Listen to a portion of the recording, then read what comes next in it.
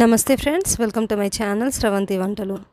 ఈరోజు చాలా టేస్టీగా చాలా హెల్దీ అయిన రెసిపీతో మేము ముందుకు వచ్చానండి. అదే పల్లి పట్టి రెసిపీ.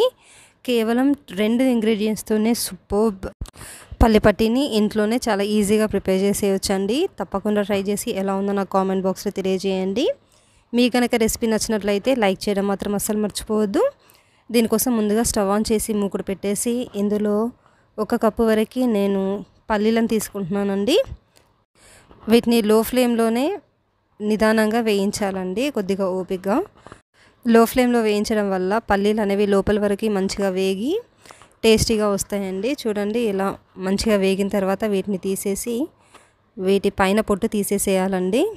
ఇలా మనం దంచే రోల్ ఉంటుంది కదా చిన్నది. దాంతో ఇలా అంటే ఈజీగా ఊడొచ్చేస్తుంది. లేదా ఏదైనా టవల్లో వేసి మనం రబ్ చేసినా కూడా తోలు అనేది ఈజీగా ఊడిపోతుంది పైన. ఇందాక మనము పీల్ ఆఫ్ చేసినటువంటి పల్లీలు అలాగే బెల్లం తీసుకున్నానండి సరికి సరి. ఇప్పుడు స్టవ్ ఆన్ చేసి ఇంకొక మూకుడు పెట్టేసి ఇందులో నేను బెల్లం యాడ్ చేశానండి ఒక కప్పు వరకు. ఫ్లేమ్ అనేది లో టు మీడియం ఫ్లేమ్ పెట్టుకొని ఇలా మంచిగా బెల్లం అంతా కరిగేలాగా మనం వేడి చేసుకోవాలండి. దీన్ని పాకం వచ్చిందా లేదా చెక్ చేసుకుంటూ ఉండాలండి మధ్య మధ్యలో. చూడండి నేను ఇలా వాటర్లో పోసేసి చూస్తున్నాను. మనకి ఫ్యూ సెకండ్స్ తర్వాత ఒక ఫైవ్ టు సిక్స్ సెకండ్స్ తర్వాత చూస్తే మనకి గిన్నె కొడితే టన్ టన్ అనే సౌండ్ వస్తుందండి. అప్పుడు పర్ఫెక్ట్ పాకం అనమాట సో ఇప్పుడు ఇందులో పల్లీలను వేసేసి మంచిగా మిక్స్ చేస్తున్నానండి. పాకం అంతా మంచిగా పట్టేటట్టు. ఫ్లేమ్ అనేది లో ఫ్లేమ్లోనే ఉంది ఇప్పుడు.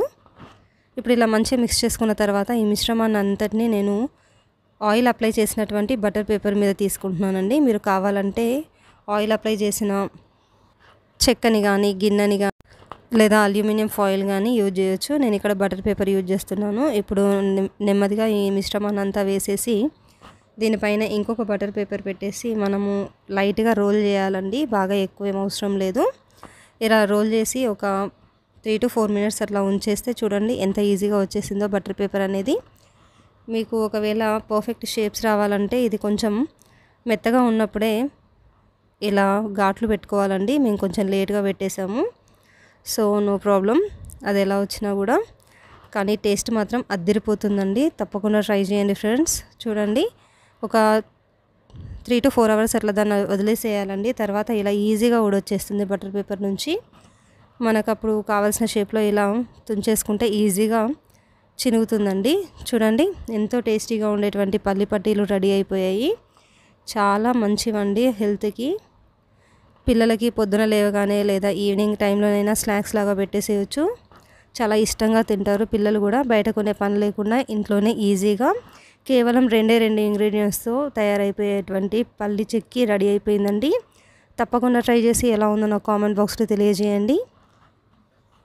మీకు గనక ఈ రెసిపీ నచ్చినట్లయితే తప్పకుండా లైక్ చేయండి ఫ్రెండ్స్. ఇలాంటి మరెన్నో రెసిపీస్ కోసం నా ఛానల్ అయితే తప్పకుండా సబ్స్క్రైబ్ చేసుకోండి. Thank you for watching. Sravanthi Vantalu.